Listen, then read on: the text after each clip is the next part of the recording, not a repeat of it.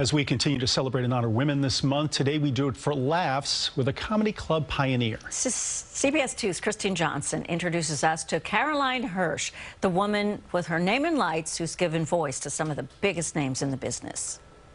We called comedy the rock and roll of the 80s when I opened because that's what it was. It was just catching on like that. It was so cool. And so, 40 years ago, Caroline Hirsch captured that cool when she opened her namesake club, Caroline's. Jerry Seinfeld and Jay Leno to a Sandra Bernhard to a Carol Leifer that were happening at that time, and I wanted to be part of it. Hirsch, born in Brooklyn and a one time employee of Gimbel's department store, opened a small cabaret club on 8th Avenue in Chelsea. A few years later, Caroline's moved briefly to the South Street Seaport before lighting up her marquee on Broadway in 1992. She was a rarity, a woman in a male dominated business. I never said, oh, poor woman, I can't get ahead because it's a man's business. I never felt that. But she worked hard to make it happen. And I remember early on, you know, sitting in my little office, which was a closet, you know, paying the bills. Caroline's gave voice to now some legendary names in comedy Seinfeld, Tracy Morgan, Pee Wee Herman, Robin Williams, and so many others. But also, I've always tried to go out of my way to make sure that we have enough women on stage. She was just groovy. She was just in the pocket. She was a businesswoman.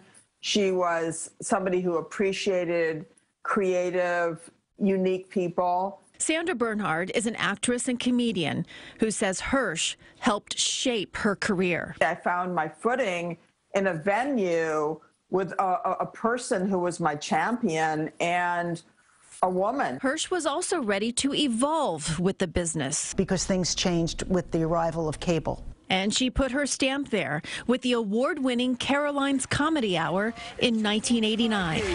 It's Caroline's Comedy Hour. Some other career benchmarks. In 2004, Hirsch co founded the New York Comedy Festival. And then there's the fundraiser Stand Up for Heroes to offer up laughter as part of healing to veterans and their families. Hirsch always aware of the power of laughter, even in some serious situations and times. I've had my ups and downs in the business. We get through it. You go to, you manage it. Look, what the world is going through right now, um, I bless every day that I'm able to come in here and make people laugh. So I'm very proud of what I accomplished here. Thank you, Caroline. She adds that she owes her success not to luck, but to having good intentions. For more information about Caroline's, go to CBSNewYork.com. What a career. She's done so much, as, as Kristine just laid out, and continues. For, and for such a long period of time. Tough relevant, relevant, relevant. Absolutely.